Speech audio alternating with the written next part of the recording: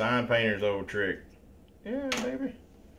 Keep that hand steady, especially when you gotta tape yours up. I'm not griping though. Thank you, Lord, for saving